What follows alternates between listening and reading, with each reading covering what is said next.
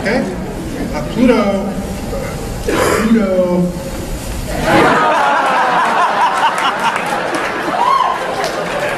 It's like, get over it, right? It's still not a planet. So you have issues with that. Okay, a few of you have issues. Issues. You, you should know there's six moons in the solar system bigger than Pluto. Did you know that? No, you didn't know that. Who, who's, you were right here. Pluto lovers, raise your hand. Did you know that? Did you know that?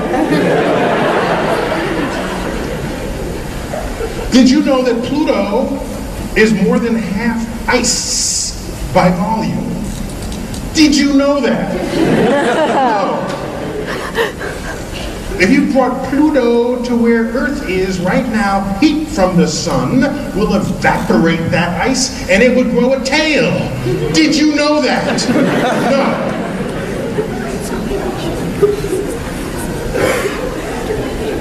Tell me what part of your anatomy that knowledge egg just got cracked on.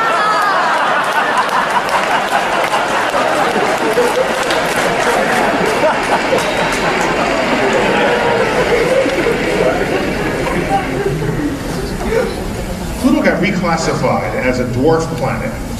It's happier that way. really. It's Pluto's cool with that. Now, no American could have called it Pluto. It was discovered by an American, named by an 11-year-old girl in England who was very well connected. Her father was head of the Cambridge Library, who was friends with the Astronomer Royal, who knew the head of the the head of the, uh, the observatory. Arizona Lowell Observatory in Arizona, where Pluto got discovered. And she had just learned Roman mythology and figured Pluto, the underworld, is far away. You don't want to go there. It's uh, Pluto. It's stuck. In America, we could have never named it Pluto because the word Pluto was already taken.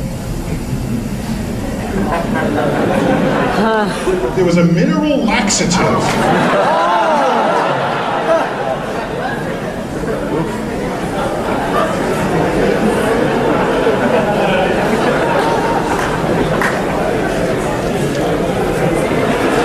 relief constipation in 30 minutes to two hours. When nature won't, Pluto will. So an American, that was not an Amer- American, couldn't have done that. And I was implicated in the demotion of Pluto. I didn't do it, although I was an accessory. But I didn't, I drove the getaway car, yes. In 2000, in New York City, we redesigned the planetarium there, and in case you missed it. There you go. Right there. Okay, so that is where I work. You're all invited. Hmm. Okay? At the front gate, you tell them that you, you know me. You're still charging $19 to get in, right? So, so we redesigned this facility and helped put the planets, orbs around the sphere, and Pluto was missing. We, we rearranged Pluto with other icy bodies in the outer solar system. The New York Times caught wind of this, had a page one story. Pluto not a planet? Only in New York. Hate mail started. The hate mail. From Sizists, yeah.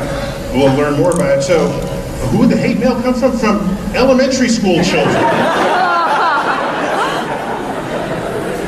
I'll read this to you.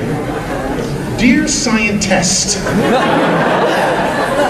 you call Pluto if it's not a planet anymore.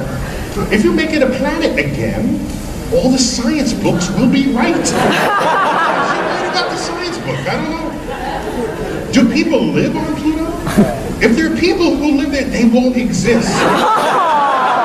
Hasn't quite figured that out.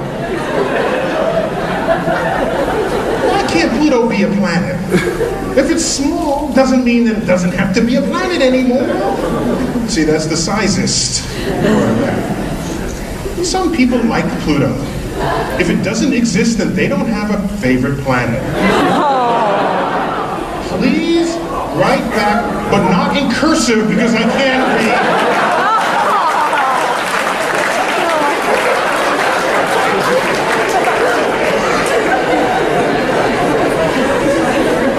Even cartoonists got into the act. This cartoon